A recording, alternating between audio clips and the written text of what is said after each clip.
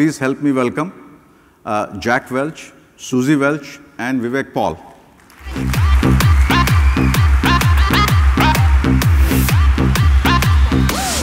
Thank you, Venk. Thank you very much. Hey, Venk. Everybody. Suzy and Jack, welcome to TiECon. Thank you. I thought that uh, everyone knows that, Jack, you've been a great CEO. But what they don't know is that uh, about your experience as a founder and entrepreneur. You are credited with creating the plastics business in GE, as well as my favorite, the CT business. And both businesses went on to become multi billion dollar businesses. What advice do you have for all of the people here who are interested in becoming entrepreneurs inside their own companies? Well, just be sure. Good, good morning, everybody. It's nice to be here. It's, it's awfully nice of you to be here so early. Uh, let, let me say that the number one thing you do in any startup is grab the great people. It's all about people first to drive that idea home. People with passion, people with energy, but people, people, people. And as an entrepreneur, whether you're inside a company or outside, getting talent is real key to growing your en- endeavor. So, uh, you know, while that's great, uh, a friend of mine was uh, sharing the story with me that, uh, you know, his company has this innovation program to try and create this internal entrepreneurship. And he says the way it works is you make these great presentations to management and the CEO, and a few days later, the finance guy comes along and says there's no budget. And it feels like corporate America is really losing out on this ability. And honestly, there are very few examples, Jack, since the plastics and CT, maybe Gorilla Glass, of US corporations actually building great businesses from inside. It's all acquisition. Yeah, with, with, without question, the 2008 recession really put a crimp in, in a lot of activities, and people are trying to do more with less. That's the common theme you see everywhere you go more with less. And that's a, a, fa- that's a design failure that is going to hurt us long term. And so, without question, the nice thing about the people in this room, you're filled with talent and credentials. And you, you can find yourself always in the right place because you have the mobility and the brain power. There's nothing like Indian entrepreneurs. There's nothing like it. And you have a chance to take that skill wherever you find the right environment. You shouldn't wait a month in a bad environment, in a non creative, non supportive environment, because you've got the stuff that makes companies hum. I've seen that all my life.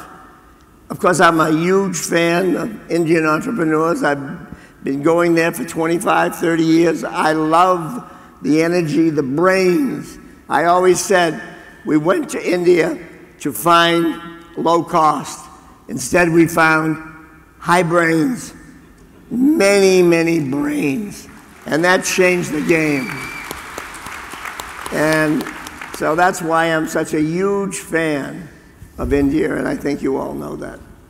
So, uh, Suzy, uh, your thoughts on this, uh, you know, uh, corporate America missing out on uh, being able to create entrepreneurship uh, inside the company? The problem with corporate America, as we see it as we travel around and as we are reporting and writing the book, is that corporate America has a thousand different ways to say no. And entrepreneurs are yes people.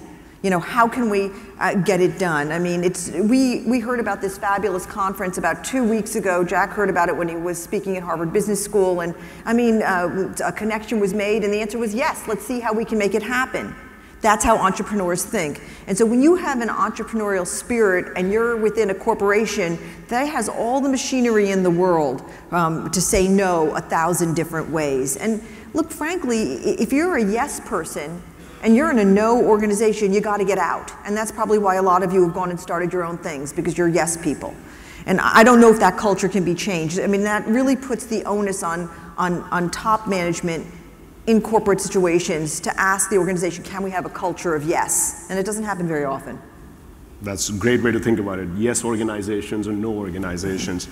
So, Jack, let me pick up on this theme of India. So, uh, I had the uh, privilege of actually escorting the very first CIO group that went to India to look at outsourcing for GE. This was in 1989, ages both.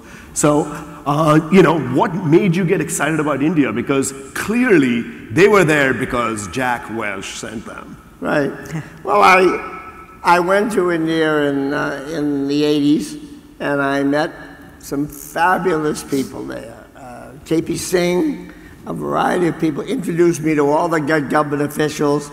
Uh, Manmohan Singh, the, the prime minister, eventually was sitting, was living, he was out of power, and he was li living in a little uh, White House in Delhi.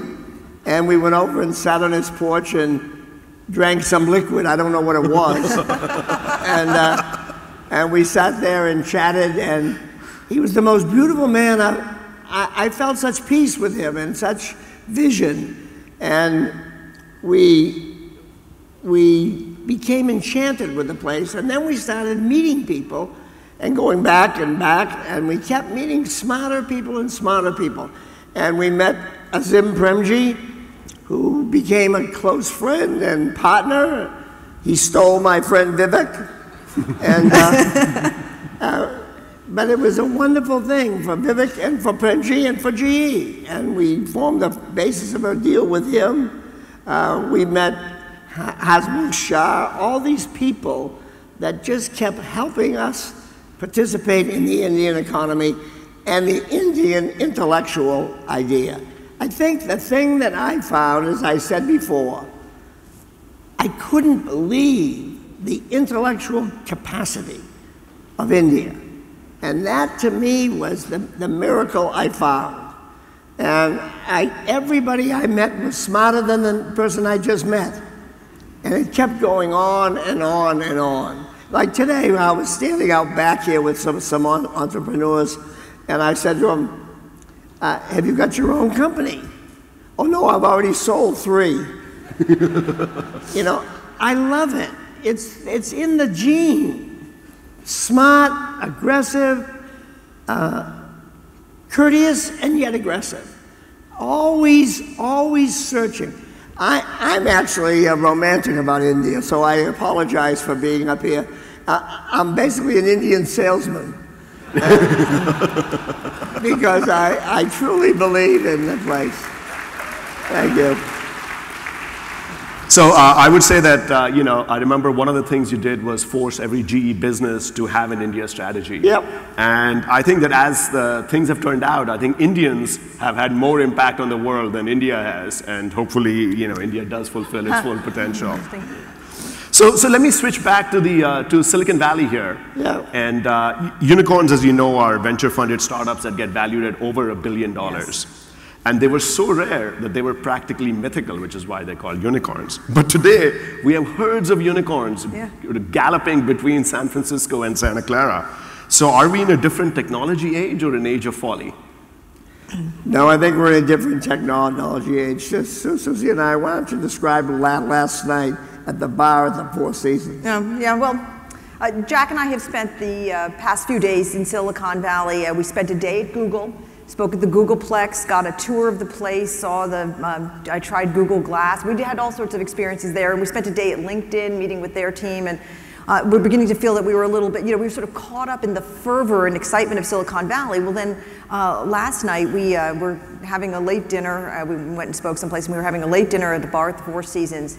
And uh, we sit down next to a banker and a young Silicon Valley entrepreneur type and an early investor in Uber. And we got caught up in this like whirlwind of a conversation. Afterwards, I said to Jack, we couldn't live here, our heads would explode. I mean, the guy was just talking about who was undervalued, who was overvalued, what technology was coming, who was going to wipe out who, who was going to buy who. I mean, it is this, it, we were like, you know, when, it's not like Jack is a faint of heart, but our heads were like, and I think there's a whole valley of people like this. Um, the thing to remember, um, because the first part of this book tour, we went through the Rust Belt, and we were in Cleveland and Kansas City and Minneapolis and places where this is a mythical place because th these are people who are struggling mightily, um, who are you know cutting back and who don't have this sense of wonder and enchantment and they're not part of this economy. So there really are these two different worlds. Look, we love it here. I mean, it's fantastic. um, and very, very exciting. And when we were at the Microsoft conference for the past three days in Seattle, we saw um, the demonstration of some technologies that were, that were mind blowing. Who's to say? what's True. real and what's not. That's great. It's very reassuring that we're not in this age of folly because it does feel like so many industries we thought the change was over and it just goes on Goes and on. on and on. And, and, the- and the difference between now and 2000 is these companies have real cash flow, real disruption. They're, they're entering large markets with their disruption. Uh, if you think about the transportation business and Uber, it's enormous. So they're not follies, they're not just apps. Great. So uh, I'd like to remind the audience that you can text the letter D as in David to 408 650 5040 and I will get your questions. And assuming uh, that they're interesting questions, I will ask them. So uh, Suzy and Jack, uh, You- and you'll be the judge of this? I will be the judge, the sole judge. Uh, yeah, I don't get to show you anything until I decide. Oh, I mean, uh, you're going to judge their questions. Uh, sadly, that's my job. So both of you have, uh, you know, done a phenomenal job in terms of both writing a book that's been number one in all the best Yeah. lists, bestseller lists, and I believe you're giving all the proceeds to charity. Yeah, this is our third book, and we give them all to i- i- inner city scholarships. Right. And it's been very successful so far. So, so real life MBA. Thank you. Thank you. So let me take an opposite view on that, Good. which is uh, one of my VC friends told me that they'd rather have a PhD than an MBA. They said superficialists, dime a dozen. It was Jack, the PhD, that built the plastics business. So if somebody in this audience or anywhere wanted to go for advanced studies, PhD or MBA? Uh, That's totally dependent on the personality and, and the ambition. I mean, uh, obviously, a, a PhD in technology today is a ticket to the moon. So let's face it, that's a great game. But you also are very blessed to have an MBA that can teach you how to build beyond the incubator stage to the next stage, build great teams, build momentum, understand how to hire, fire, uh, motivate, allocate re- re- resources. The stage two and three, if you will, of the venture. Uh, so it depends on your personality. Some people can't stand managing. They hate it. Some people like to just come up with the idea, drive it home, spin the company, and get on with the next one. It's a totally individual characteristic. I mean, it depends if you want, if you want to be an individual contributor, by all means, go get that PhD. I mean, as Jack is, of course, right, the world belongs to you. But you know, the moment when you have to start managing people, that's the moment of truth. And, and, and, and there's this moment where an individual contributor who's been raising his or her hand and getting all the answers right becomes a manager of people. And in that moment, that's the hardest transition, and that's where organizations can live or die, is when you realize it's not about you anymore. It's about the reflected glory of your people, the people around you. And that's where learning about people management, which is not a natural skill for many people. I mean, I think actually for Jack, managing people was quite much part of his DNA, but it's not for everybody. And, and that's where learning how to do that really comes in uh, handy, very helpful. So I think your book has a whole section on, uh, you know, how do you manage uh, Right. organizations Right. and manage people. So that's great. But one of the other sections that really intrigued me was a section on crisis management. Yep. And uh, California is facing a water crisis, uh, and yet the response so far has been completely defeatist. An equivalent would be a CEO facing a revenue shortfall and then deciding not to look for any alternate sources, cutting everybody's budget equally without thought about investment or disinvestment. And that's exactly where we are in California. Jack, how would you deal with California's water crisis? Mrs. Welch did not bring up a fool. and as a result of that, I've, I've looked at this water crisis. You had it in the mid 70s, you had it in the mid 80s, you had a 200 year drought 100 years ago, uh, 200 years ago. So this is a problem that's been around forever, and nobody wants to face it. California has to face it. They have to be transparent about it. They've got to get it. I don't know the answer. I'm not I've, I've read enough papers on the way out here. I've had a briefing on this subject, and I don't have the answer. I just don't. But I'll tell you this there's got to be transparency, there's got to be an argument between the inner part of the state and the coast. There's got to be a big debate, and people have got to go at it in a much more transparent way than they are now. Now it's a group of uh, politicians dealing with special interests, dealing with each niche. That isn't going to work long, long term. Now, each time the crisis has come, it's been solved by nature. 70s, 80s, and now let's hope that happens again right now because it doesn't seem like anybody's taking this, the transparent, head on position on the subject. Jack and I were very struck when I think, I'm not sure, so I think it was the governor who said, I'm not going to pick winners and losers in this water crisis. In other words, I'm not going to pick which industries get nailed. Uh, you know, almonds, yes, avocados, no, or whatever. And I think I read that headline out loud to Jack, and, and we both agreed, well, what does a leader do if a leader does not pick winners and losers? And so it's, a, it's an interesting inability to, uh, you know, when you are, when you don't have the courage to pick winners and losers in a crisis situation, you'll you'll live to regret it. No, I think certainly the current situation just feels like uh, needs a little bit of management. Yep. So, you know, coming back to the uh, topic of uh, career management that you have in your book, yep. you talked about managing your career and avoiding career purgatory. Uh, what are the top three things that you think, you know, folks in the room ought to start doing? Because that was pretty compelling about just status quo is dangerous. Well, I mean, we talk a lot about career purgatory, and I don't think anybody in this room who's hungry for education, hungry to grow, hungry to make connections, is in career purgatory. But if you are, the thing you have to do is you have to set, set a timetable. If you're stuck with a bad boss or you're stuck in a low growth situation, you've got to set a timetable. How long am I going to stay? I'm going to stay a year. I'm going to stay six months, I'm going to stay 18 months, whatever it is. But while you're there, you can't act like you're in the purgatory. You can't be negative. You can't be whispering. You can't be gossiping. You can't be, You've got to over deliver. That means do more than's asked of you.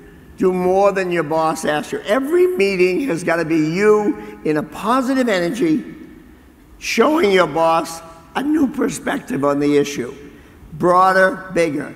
I, I always had a rule. Whenever I had a meeting with a boss, make sure the boss left the meeting smarter than when they entered. Think of that every time you're in a meeting. Are you adding perspective? Now, if that doesn't work, get the hell out of there. Okay, but go to the don't don't get into career pur purgatory and fall into that negative attitude. Set a timetable, give it your 150 percent, and then if it doesn't work, know you've given it the time, move on. Excuse me, move, move on.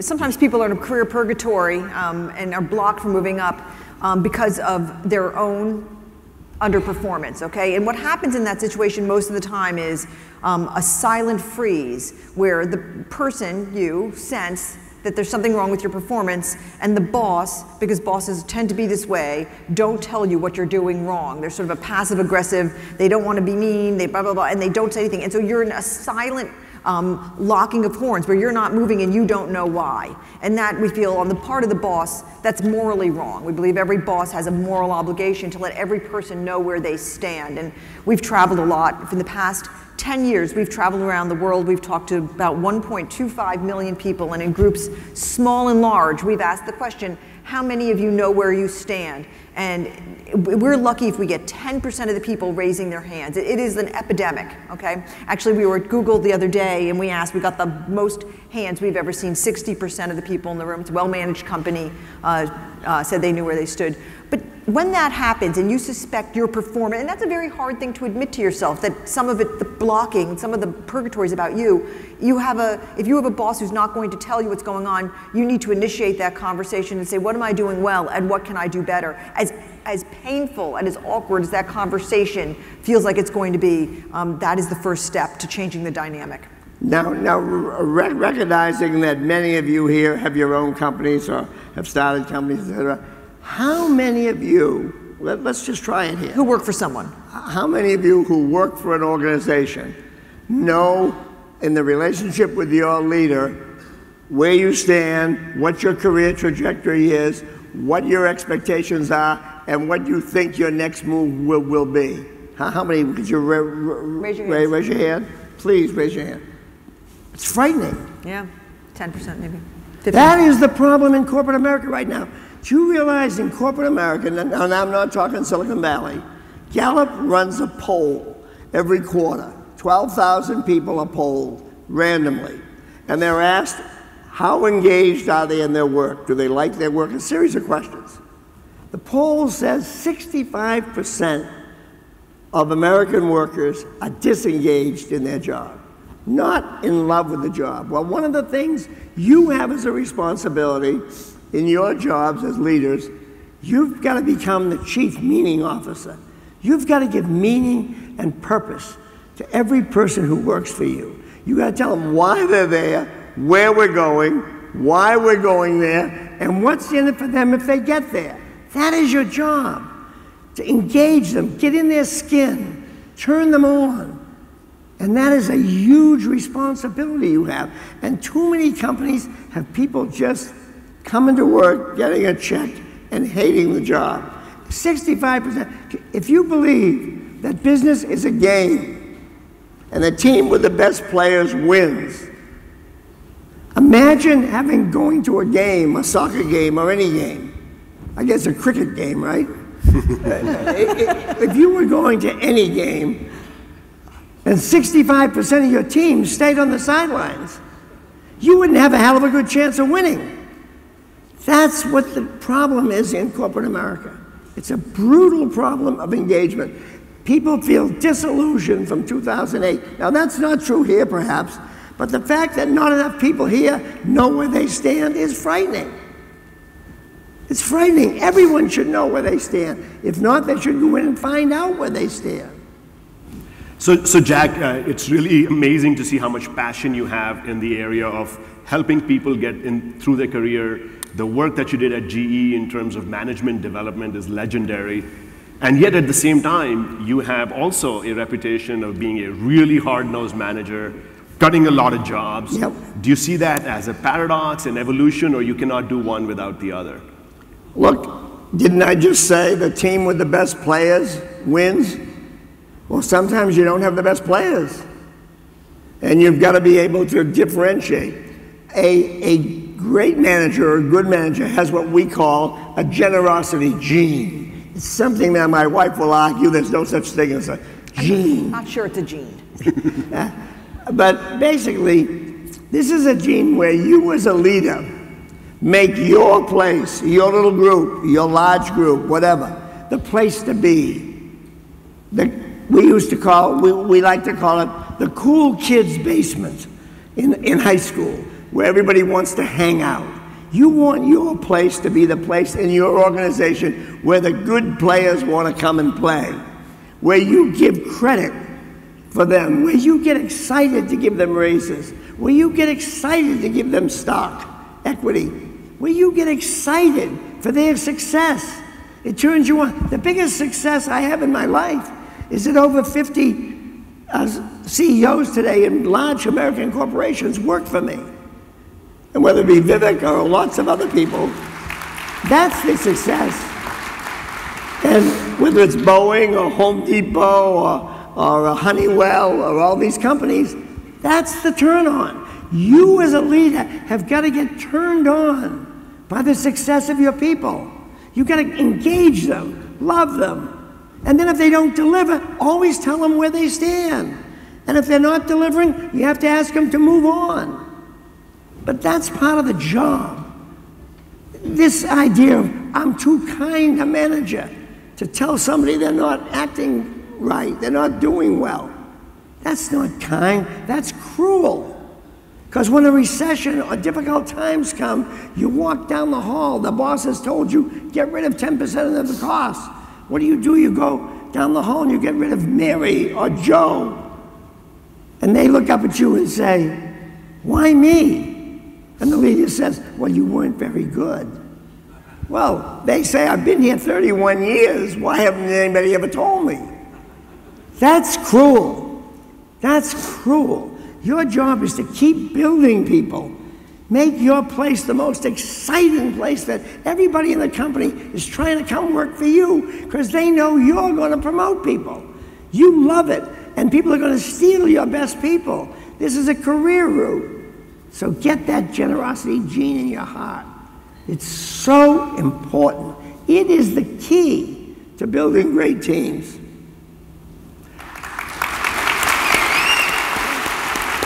Really powerful, Jack. Really.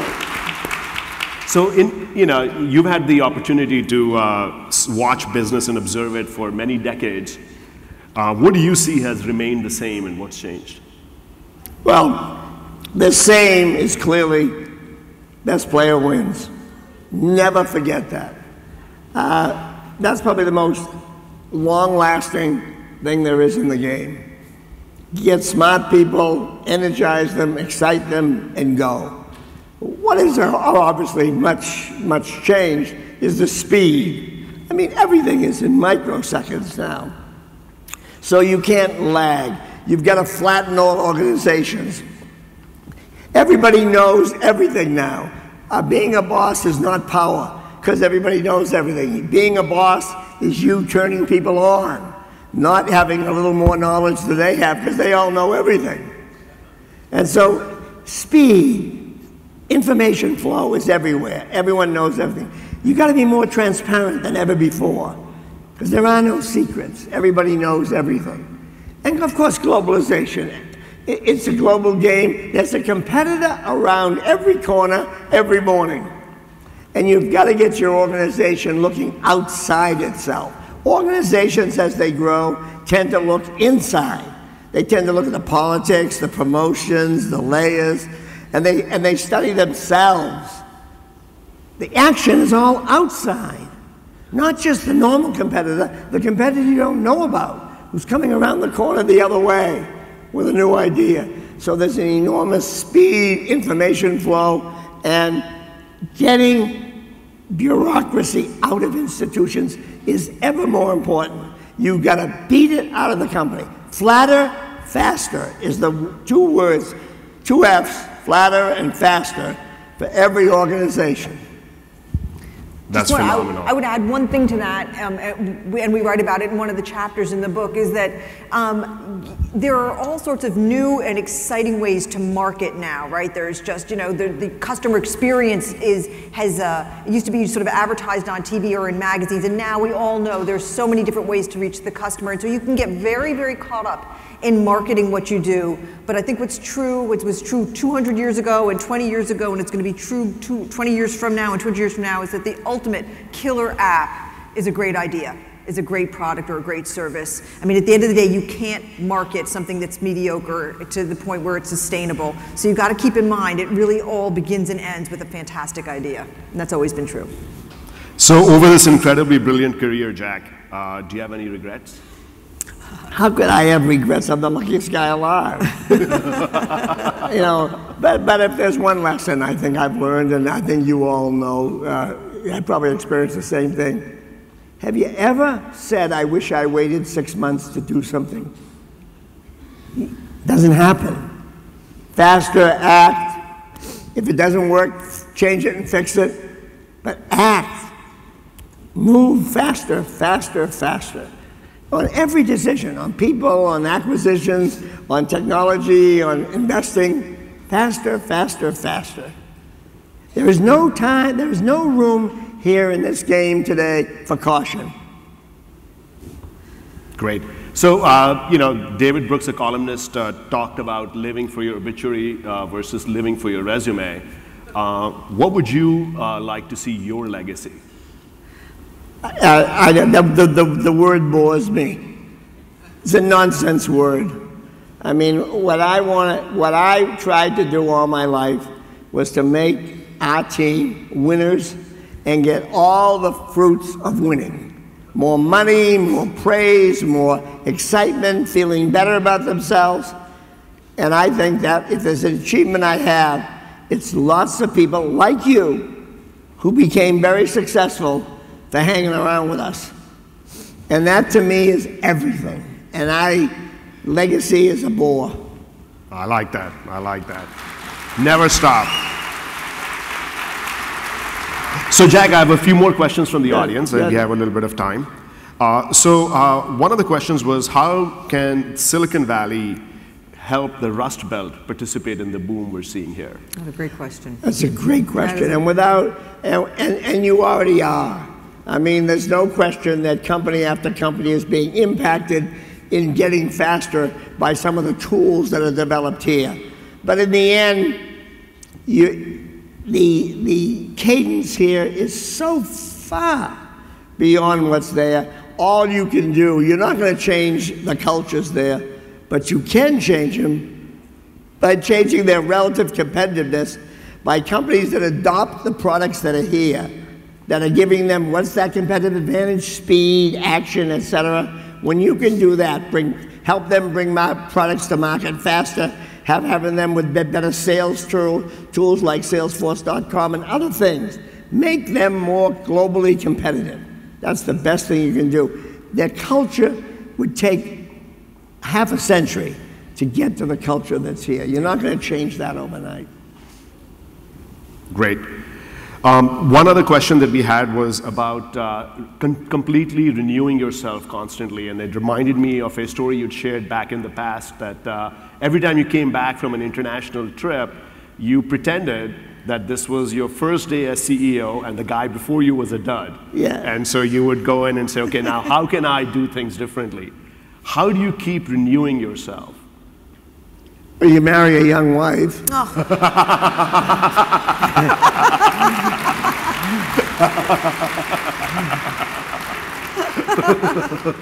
Suzy, how do you keep renewing Jack? Jack,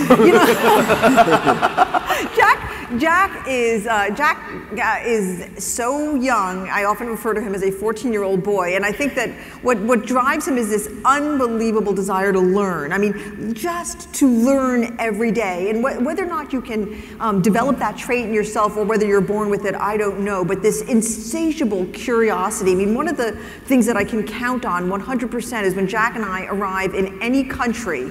Um, say we, uh, like for instance, we went to Slovakia uh, for a speaking engagement, and I always sort of pity the person who's driving the car from the airport to the hotel because Jack is going to suck that person's brain out of his ears by asking him every question about his life and the state of Slovakia until the guy drops us off and his tongue is hanging out of his mouth and he's exhausted. He, he doesn't know what's hit him.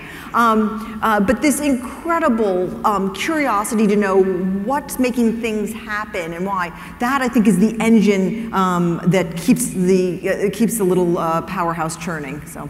And I find things like India. In, in- India is my invention, if you will, for me.